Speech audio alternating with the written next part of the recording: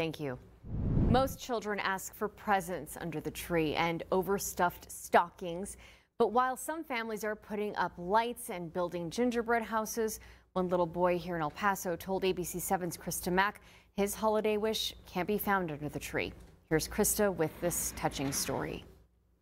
It doesn't let me run, it doesn't let me sleep properly, and it's just tiring with this backpack on.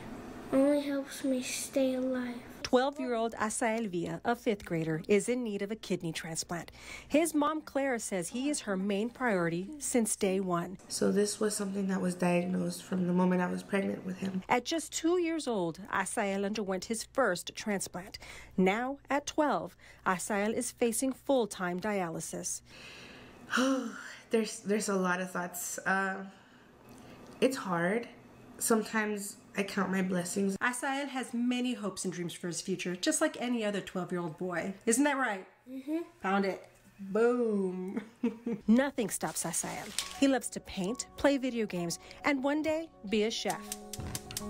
He even taught me a thing or two in the kitchen. and Brian Martindale, executive director of the nonprofit Kidneys for Kids, is on a mission to find living donors. Hi, Krista. Brian, a living kidney donor himself, is passionate about spreading this message. This summer, I drove 7,000 miles uh, as part of recruiting 100 kidney donors for 100 children. Hey, how are you? After meeting for the first time with this story, Brian now has another reason to drive. All better and free from dialysis. And that's exactly what Asael wishes for Christmas. I wish for a kidney donor. Krista Mack, ABC 7.